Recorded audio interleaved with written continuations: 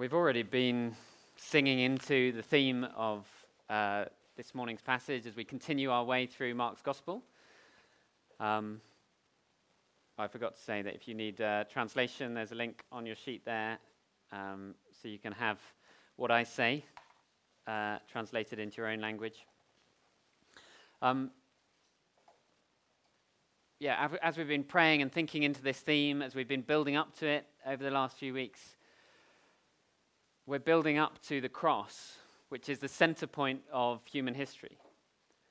Uh, the point at which Jesus gave his life to defeat sin and death and Satan by dying and rising again. But if we don't understand the bit we're looking at this morning, that doesn't make as much sense as it should.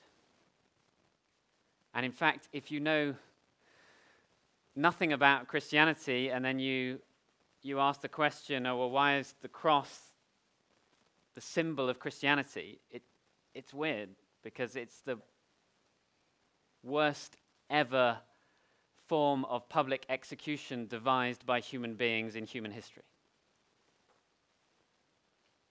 And so it is weird that it would be the center point of our religion. Why would, why would we have as the very thing that we celebrate the most, that we put on top of church buildings, that we put as the symbol on our, on our logo? Why would we have an instrument of torture and execution? And I think the place where we can understand that the most is this passage we're looking at in Mark chapter 14, where Jesus is in the, the Garden of Gethsemane. Uh, Gethsemane is um, Hebrew Aramaic for an olive press. And so it was a, a garden of olives. It was the Mount of Olives that Jesus went to. And he was praying near where there would have been an olive press. And the fact that we're reminded of that name is helpful because when if an olive wants to produce olive oil, it needs first to be crushed. And olive oil in Scripture is a symbol of the outpouring of the Holy Spirit of God's grace. Um, and so we need to understand why was it that Jesus needed to be crushed in order to pour out his grace. And so this is, I mean, every passage of Scripture we come to, we're coming to the Word of God Himself. Um, but I have a sense of sort of awe and nervousness, an extra sense of awe and nervousness as I come to this passage. And so what we're going to do is we're just going to read it through. I'll make a very few comments. And then we're going to go back over and see if we can draw out the implications for us in here. And we're going to see it under the theme that I've put on the, on the screen the cup of wrath and the swap of love. The cup of wrath. Wrath is an old English word for anger, uh, the deep anger of God. The idea that God would be angry. Why, why is that? We're going to explore that this morning. And then the swap of love. What was it that Jesus did to swap places with us? And as we come to this passage, we've been singing into it and thinking into it, we, we can come with that sense of God, why do you leave prayers seemingly unanswered? And this is an amazing place to go to see that. How is it, God, that you can be sovereign? How is it that you can be in control even where evil happens at the most deep and painful level? And this is a great place to come to. And how is it in the midst of all that seeming unanswered prayer and pain, can we know that we are loved? And I think if we understand this passage, which may on first reading feel a bit strange, but if we understand this, deeply, we will know that we are loved so much that it will completely change our attitude to everything. And perhaps, especially as we get to the end, we'll see our attitude to prayer. If we know we are loved, one of the greatest outpourings of knowing you are loved like this will be that you want to pray. Well, let's read it. Read it together. Mark chapter 14. And I'm actually going to read from verse 31, even though our passage technically starts at verse 32. So, there on your sheets, Mark 14, verse 31. So they've shared the Lord's Supper together for the first time. The Passover, Jesus said the Passover pointed to him. His body broken was the bread that they took, his blood shed was the wine, the cup that he passed around for them, which is the new covenant in his blood, bringing in a new era. But in the midst of that Passover pointing to him, that celebration that it's all about Jesus, comes this pain that he's going to die. But then the disciples all confidently say, like Peter, well, verse 31, Peter insisted emphatically, Even if I have to die with you, I will never disown you. And all the others said the same. I don't know what your attitude is that you came to church with this morning. I'm a good Christian. Maybe that, that was their attitude. Jesus, we're good Christians. They wouldn't have used the term Christian, they used disciple or follower of Jesus. We will follow you to the end, even if it involves dying. And that sense of confidence in themselves. We're the faithful ones. By now, they've seen Judas slink off. They perhaps know already or see stirrings that he's going to betray, but, but the rest, the other 11, they are faithful and true. But Jesus said, even Peter would disown him, and Peter's just denying it. No way. No way. I'm strong. Satan can attack me in that way. There's no way I could be led away from you. I will die with you. I have such confidence that I'm a good follower of Jesus. And so they follow him. Verse 32 to a place called Gethsemane, the olive press. And Jesus said to his disciples, his followers, Sit here while I pray. And then he took Peter and James and John, his closest followers, the ones he'd spent most time with. He took them along with him and he began to be deeply distressed and troubled. It's hard to exaggerate just how deeply distressed and troubled he was. You'll see on your sheets below there's a little quote from Luke 22 says, being in anguish as he prayed more earnestly, his sweat was like drops of blood falling to the ground. He is incredibly deeply distressed. What's, what's going on here? Well, he says, verse 34 My soul is overwhelmed with sorrow to the point of death. Stay here and keep watch. So he's just told them just how full of distress, anxiety, fear, trouble, overwhelm that he is. And they know that he's said that he's, he's heading to die. They find that still very, very confusing. But they know he needs them right now. Says, Stay here and keep watch.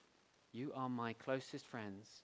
You're here with me. This is my moment of greatest need. They wouldn't have seen him this distressed ever before. I need you, Jesus says. I need you now. You've told me that you would be willing to die, with, die for me. I need you now.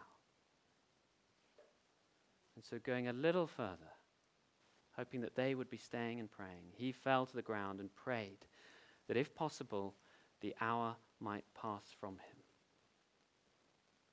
Abba, Father, said.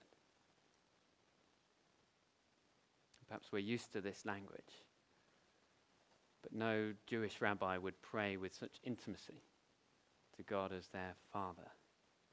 Abba, Father.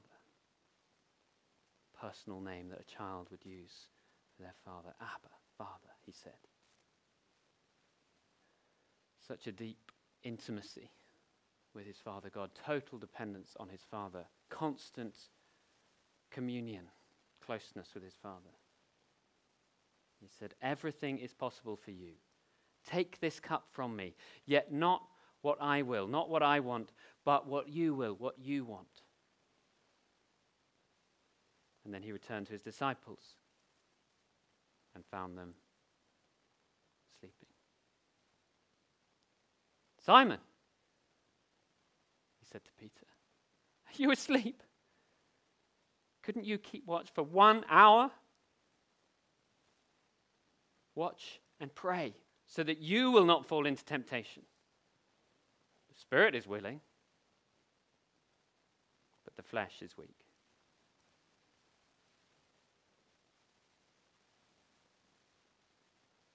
Praying for an hour. That's a long time to pray non stop, isn't it? Once more, verse 39 Jesus went away and prayed the same thing. Deep anguish, Abba, Father. Everything's possible for you. Take this cup from me. Yet not what I will, but what you will. Verse 40 When he came back, he again found them sleeping because their eyes were heavy. They did not know what to say to him. Returning the third time, he said to them, Are you still sleeping and resting? Enough. The hour has come. Look, the Son of Man is delivered into the hands of sinners. Rise, let us go. Here comes my betrayer. Jesus knows what's coming, he's in control, and yet he's been in this deep anguish that this cup might pass from him. But now he seems resolved to go ahead. And just as he was speaking, Judas, one of the twelve, appeared. And with him was a crowd armed with swords and clubs, sent from the chief priests, the teachers of the law, and the elders, a big crowd of armed soldiers. Verse 44 Now the betrayer, that's Judas, had arranged a signal with them. The one I kiss is the man. Arrest him and lead him away under guard. Going at once to Jesus, Judas said, Rabbi, and kissed him.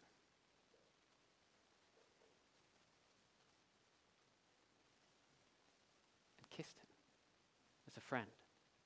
The reason he knew where Jesus was is because we're told in Luke's gospel it was his custom to go there and to pray.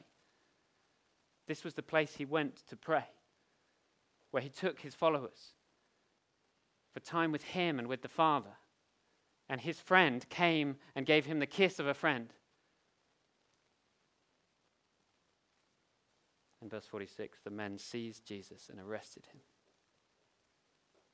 And then one of those standing near drew his sword and struck the servant of the high priest, cutting off his ear. We're told that that's Peter elsewhere. Maybe Peter was a bit embarrassed. Mark was possibly Peter's scribe. anyway, Luke and Matthew tell us that was Peter. Cut off his right ear. We're told elsewhere that Jesus heals that. Mark doesn't delve into the detail there. We're just left with the fact that the very followers who'd said, that they would follow Jesus' every word can't even remember to love their enemies and pray for their persecutors in the moment of Jesus' greatest need. And so Jesus rebukes them. And then he looks to those who are going to arrest him. Verse 48 Am I leading a rebellion, said Jesus, that you have come out with swords and clubs to capture me? Every day I was with you, teaching in the temple courts, and you did not arrest me, but the scriptures must be fulfilled. Then everyone deserted him and fled. In the original language, it's put the other way around. Verse 50 Then deserted him and fled everyone.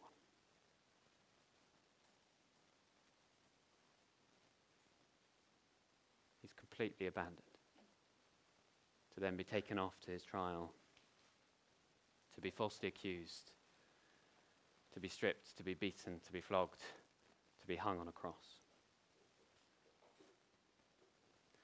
And then people suspect that this young man in the next verse is Mark himself, because it doesn't come up in Matthew, Luke, or John. Verse 51 A young man wearing nothing but a linen garment was following Jesus, and when they seized him, he fled naked, leaving his garment behind. Even to the point of total and utter shame and humiliation, no one was willing to hang out with Jesus. They were willing to abandon their most expensive thing. Linen in those days was very, very expensive to weave. And so to leave that behind, that's, that's expensive. And then to run in nakedness and shame and be the first streaker recorded in human history. that means you really don't want to be there. As one of the followers who said, I'll stick with you no matter what, they all abandoned him.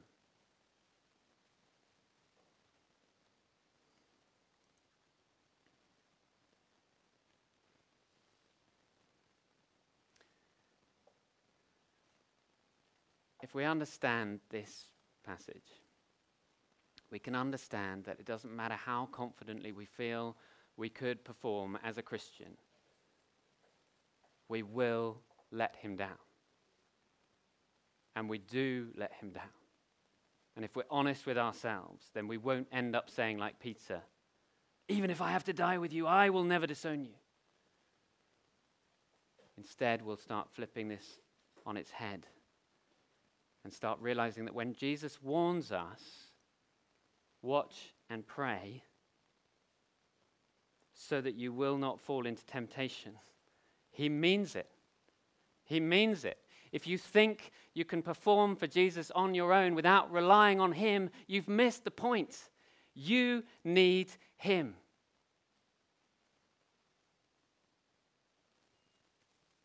They weren't scared they weren't overwhelmed.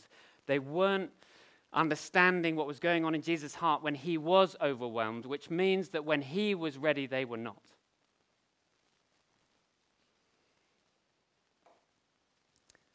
I think the first thing we need to get from this passage is to understand the horror of our sin. Sin just means falling short of God's standards. But the whole attitude of sin is that we would be in charge, that we would be in control. It's pushing God out of the picture and saying, I can do this. I don't need you. And if you want to know how serious that attitude is, just have a look again at verses 35 and 36. Going a little further, Jesus fell to the ground and prayed he fell to the ground. This is, this is desperate, face on the floor type prayer. Desperate, and prayed that if possible, the hour might pass from him. The hour is the hour where he heads to his death. And he says, Abba, Father, everything is possible for, for you. Take this cup from me. Yet not what I will, but what you will. This is intimate language, intimate in the presence of God. And yet, what he's asking for God to remove is something terrifying. And I've put there on your sheet an, an understanding that the first readers would have had as they knew their Old Testaments. Just have a look down at the, the verse from Psalm 75, verse 8. It says, In the hand of the Lord is a cup flowing, is a cup full of foaming wine mixed with spices. He pours it out, and all the wicked of the earth drink it down to its very dregs. Idea of a, a cup of anger. Or Isaiah 51, verse 17 Awake, awake, rise up, Jerusalem, you who have drunk from the hand of the Lord the cup of his wrath. You have drained it to its dregs, the goblet that makes people stagger. The cup of his wrath, the cup of his anger. I think, why, why would God be angry? And yet, have you ever watched a film where there's an evil leader in that film, threatening to capture and kill innocent families. And as the film builds and builds, the more you want the destruction of that evil person. The more you want them gone because of the horror that they are doing.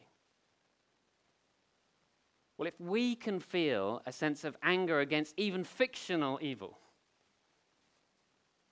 how much more would the God of justice and peace look on his broken world and those who've turned away from him and are doing evil towards each other? How much more would his anger build and ultimately be poured out against that kind of evil? But the thing is, we so often point the finger away from ourselves and we see the evil in others, but we don't see that actually, if we had the opportunity, we would be capable of carrying out such evil. As, you see the horror between Israel and Gaza, and as you lif- listen to the different stories, you can hear people thinking, they've been so horrible to us. Those in Palestine, those in the Gaza Strip, they have been so horrible to us. They've oppressed us for so long. We've seen the bombs fall. We've seen the innocent die, that they deserve whatever's coming to them. And then on the flip side, you hear, they've been so horrible to us. They've attacked us. They've murdered and raped and killed. And the anger against evil, and you kind of understand the anger against evil. But then it's carrying on on both sides. And the more we're oppressed, the more likely we are to become the oppressor because we don't have grace in us. And yet, what is weird here is that you've got the most innocent, perfect, beautiful, good, kind lover of his enemies who is about to face the cup of God's wrath. And when Jesus asks, Take this cup from me, it's a genuine request. Even though from before the world began, Father and Son predestined the plan, as we were singing in those wonderful words. Jesus, as to his human nature, knew what he was going to face, and he knew the horror of it. And actually, if Jesus had not prayed that prayer, this is not a prayer of weakness, this is a prayer of strength. If he had not prayed that prayer, he would not be truly holy. He had to pray that prayer Take this cup from me, because there was no instinct in our holy Savior ever to want to drink a cup that would lead him to be cut off from his Father's beautiful face, shining down on him in perfect relationship, a relationship that we can only get glimpses of.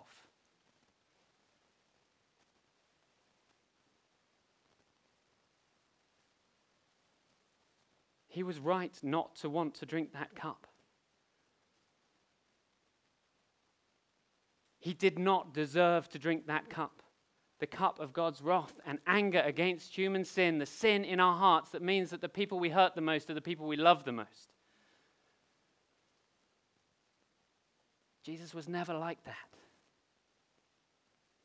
He was not looking forward to saying, My God, my God, why have you forsaken me? as he hung on that cross, cut off and bearing the full force of the anger of his Father literally taking hell for you and me. He knew he was going to experience the full force of the anger of God against all human sin in all human history for those who would trust in him.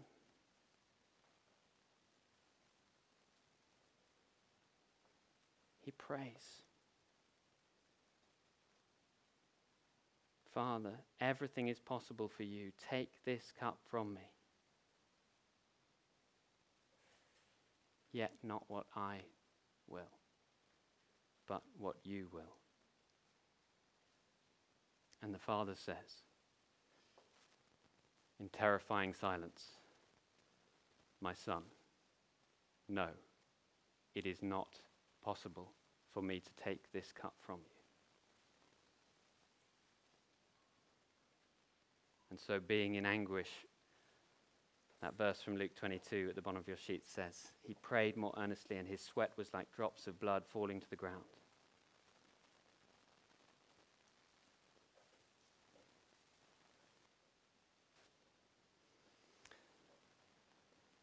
This only makes sense if what Jesus had to face in death was way worse than any death any other human being has ever faced because there are many, many people in human history who've gone to their death far more bravely than this. In fact, all of Jesus' followers died more willingly than this. In fact, they saw it as a privilege to be able to die for their Savior. And so, why was it that they were braver, as it were, facing their death than he was?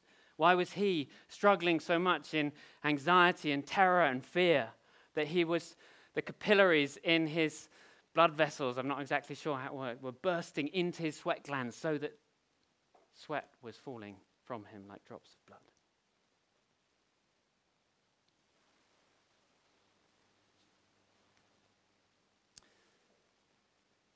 I don't know if you um, read the uh, Harry Potter books.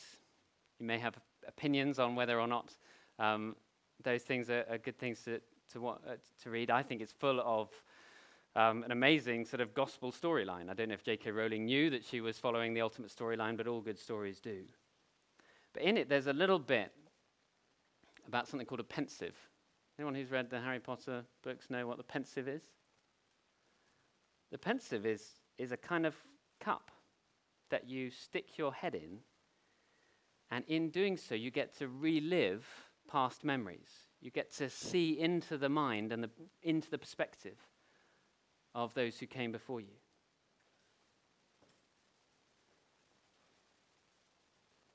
Now, in this, it's as if Jesus is faced with a Pensieve, but in it are all the evil things that you or I have ever thought and said and done.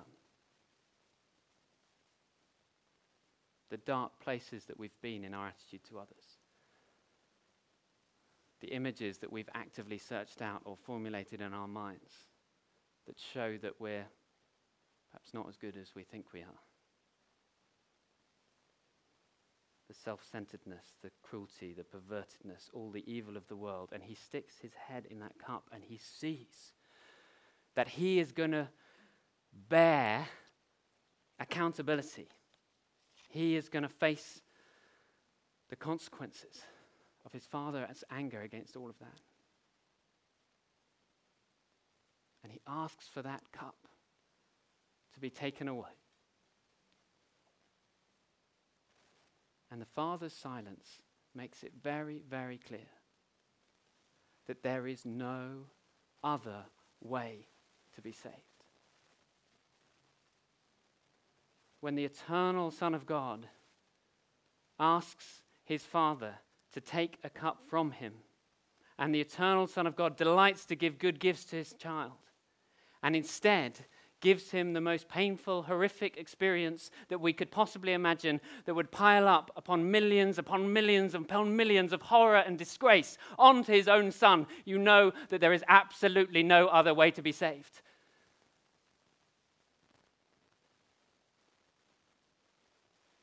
So Christianity is either complete rubbish or it is the only way to come to know God and to have a relationship with Him.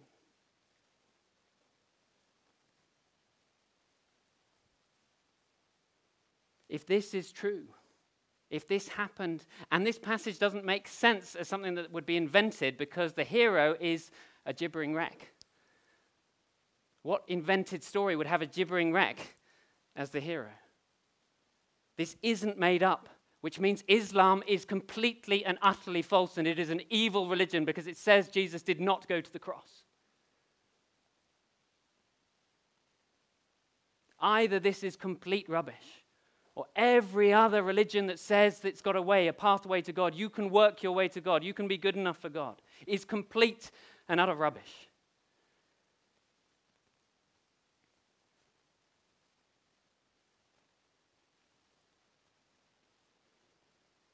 If you say there is another way to be saved, then you spit in the loving face of the Father of the Lord Jesus Christ.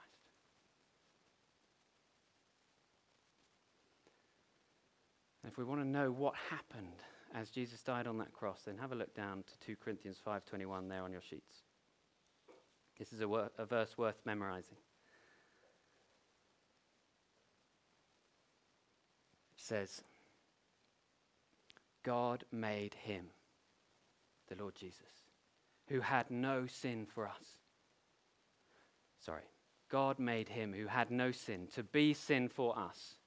God made him, God made Jesus, who was perfect, who had no sin, to be sin for us, so that in him we might become the righteousness of God.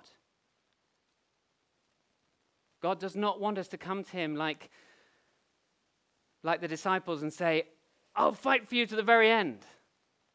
He wants us to know that we have nothing to offer him. And what we need as we face the cup of wrath is we need the swap of love. What we see here is that God treated Jesus as we deserve so that he could treat us as Jesus deserved.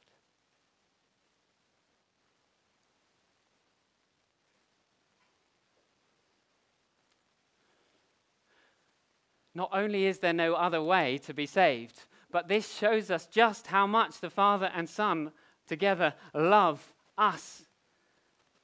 That by the Spirit they would give us this message so that we can be brought into a relationship. It was Jesus' will to have the cup removed from him. He said, Take this cup from me. But his greatest will, his greatest desire, was to do what his father wanted. And as the father looks on his son, we know, we know, don't we, if we see a mother in hospital with her child, looking on the child in anguish and pain and, and praying and longing for the child to be well. We know that you can't separate the pain of parent and child. In many ways, the parent bears it more as the Father looks on his Son. What love he has for us, that he would let Jesus go through that for us.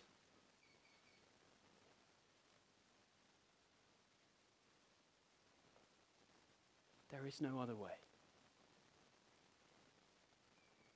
Because God loved us enough to give us his Son.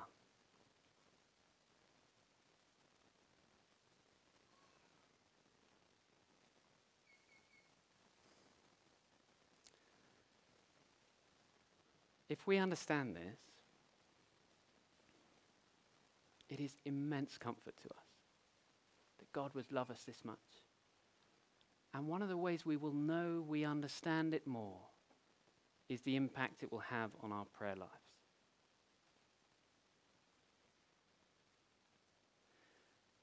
Just have a look again at verses 37 and 38.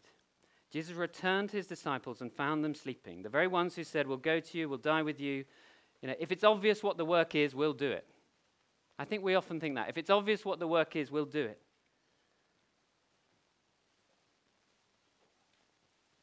And then the most confident of them, Jesus singles out Simon, he said to Peter, Are you asleep? Couldn't you keep watch for one hour?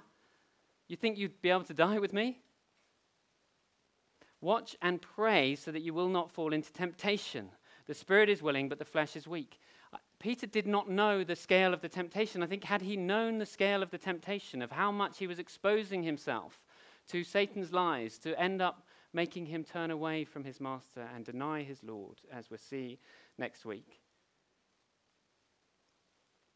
he would have changed his attitude from Jesus, I'm there for you, into Jesus, I need you. And I just want us to look as we close I'm assuming someone's told the kids that we need a bit more time. As we close and as we as we sing out the theme that something changes between this point and Acts chapter 1. Just have a look at the, those verses on your sheet in Acts chapter 1. Acts 1:12 Then the apostles returned to Jerusalem from the hill called the Mount of Olives a Sabbath day walk from the city. Um, that just means uh, about a kilometre, um, because you weren't supposed to walk very far, otherwise, that was seen as work on the Sabbath day. So, a short walk from the city.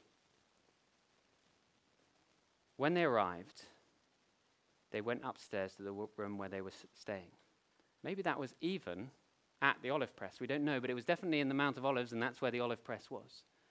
So in Luke, we're told that it was Jesus' custom to go to the Mount of Olives to Gethsemane to pray.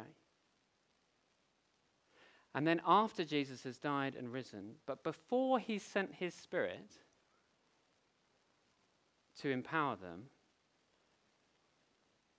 their mindset has shifted. They're going to the place of prayer. And when they arrived, they went upstairs to the room where they were staying. Those present were Peter, who deserted him, John, who deserted him, James, who deserted him, and Andrew, who deserted him, and Philip, who deserted him, and Thomas, who deserted him, and Bartholomew, who deserted him, and Matthew, who deserted him, and James, son of Alphaeus, who deserted him, and Simon the Zealot, who deserted him, and Judas, a different Judas, the son of James, who deserted him. And they all joined together constantly in prayer, along with the women and Mary, the mother of Jesus, and with his brothers. Their mindset had shifted and their attitude to the fact that they needed the Lord had changed. They were no longer saying, I can do this. They were saying, I can't do this.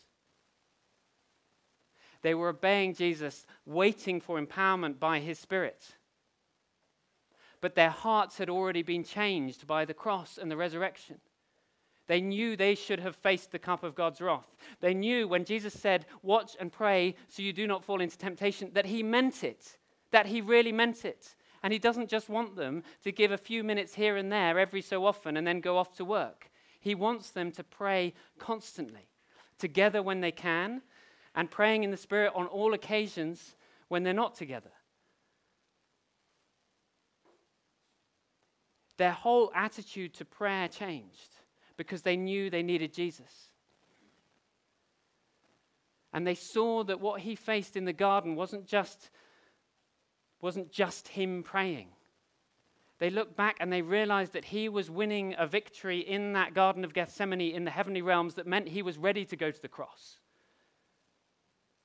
They saw that what had shifted in him from the sweating drops of blood, anxiety to rise, here comes my betrayer, and heading to the cross, was that he had pleaded with the Father, that he'd heard the Father's voice. He knew the Father's leading. He followed in the footsteps of the Holy Spirit, and he went to the cross to die for them and to give his life for them.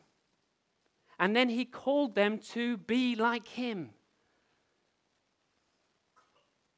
Go back to that 2 Corinthians verse, God made him who had no sin to be sin for us so that in him we might become the righteousness of God. And what does it look like to be the righteousness of God? It means that we depend on our Father in prayer. And actually, Jesus himself said, I do nothing on my own, but only what the Father gives me. Jesus was a man who was constant, constant, constant in prayer. And if we don't pray corporately and individually, then we don't think we need Jesus. That's what we're saying. We're saying, I don't need Jesus right now. Which means we won't see an outpouring of the Spirit because we're not waiting for an outpouring of the Spirit. Because we don't think we need Jesus. We're all right trundling along. Oh, yeah, there's the church stuff and then there's the work stuff. No, it's all one thing.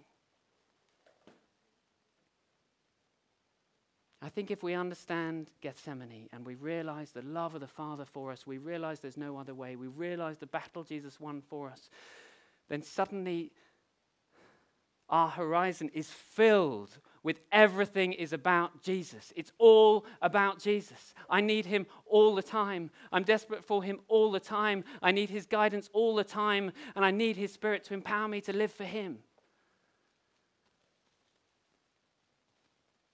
This passage teaches us that Jesus is willing to die for those who fail to watch and pray. He paid the price for those who fail. When I fail to get on my knees as I should, when I fail to pray as I should, there is grace for me aplenty. He has died. He has given his life for me. I am a rubbish, rubbish prayer. But if I stop at that point, I don't realize he's called me to righteousness to seeking my Heavenly Father in prayer. And I want our attitude as a church to change so that we spend more time, literally or metaphorically, on our knees, asking the Father to fill us with a deeper sense of His love and to shape us and transform us.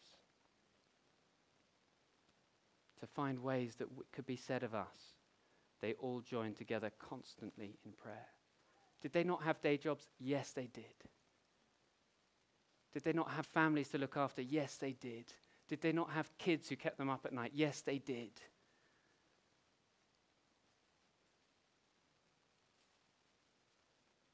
But they found a way to join together constantly in prayer. And my prayer life is anemic, and I need you. And your prayer life is anemic, it's lacking life. We need each other. Sarah, Sim, the musicians, do you want to come up? The kids are coming in. It's okay, there'll be a bit more noise.